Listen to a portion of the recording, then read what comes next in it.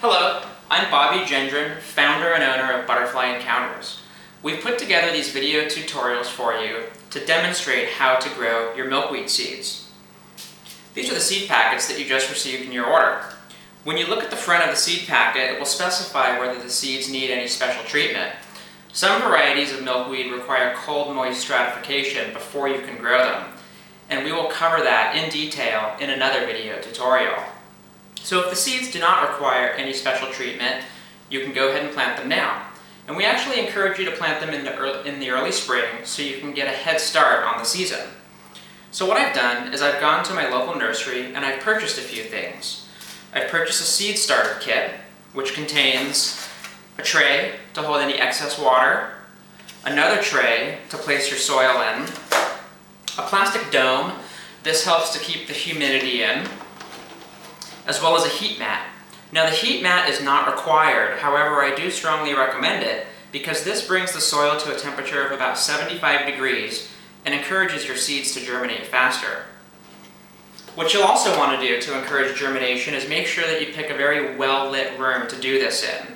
Uh, next to a window would be nice, however you just want to make sure that it's not in the direct sun because that direct sun through the glass could harm your seedlings. A couple other items I have here is some seed starter mix. A seed starter soil typically contains perlite, vermiculite, and peat moss, as well as a bucket and a pitcher of hot water so we can get the soil to the right consistency. So the first step is to moisten the soil. And this is actually the most important step. So go ahead and take your bucket and fill it up with the seed starter mix.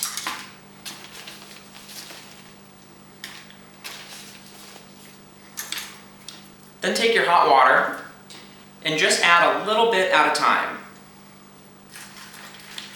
Once you have a little bit in here, mix it up.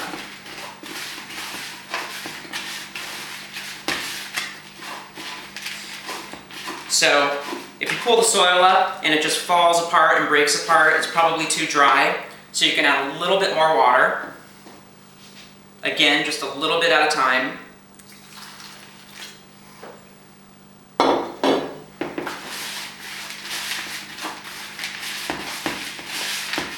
All right, now we have a good consistency of soil and water. So when you pull your soil up like this, you can form a ball and the soil holds. But as soon as you press down on it, it breaks apart very easily. That's a good consistency. So for the purposes of this demonstration, I'm going to fill six plugs in this seed tray with soil.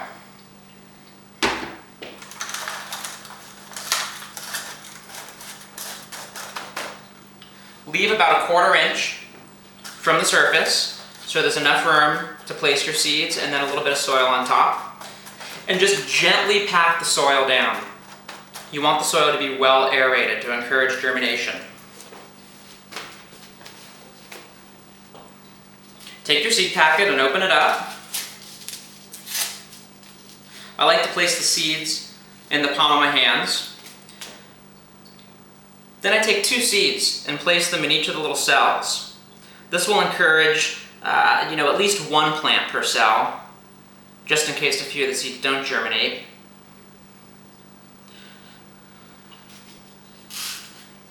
Now that your seeds are down here, grab a little bit more soil and just barely cover the seeds with about an 8 inch of soil and gently pack them down.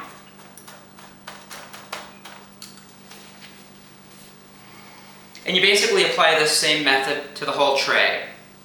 Then take your plastic dome, place it over the seed tray, then take your seed tray, place it on the heat mat, and don't forget to plug your heat mat in. This will again bring the soil temperature to about 75 degrees. So just check your seeds about every one to two days and ensure that the soil is still moist. If it's too dry, you can use a spray bottle to put just a little bit more moisture down. And your seeds will germinate in about 7 to 15 days. We're going to have a follow-on tutorial once these seeds have germinated to show you the next steps. Thank you.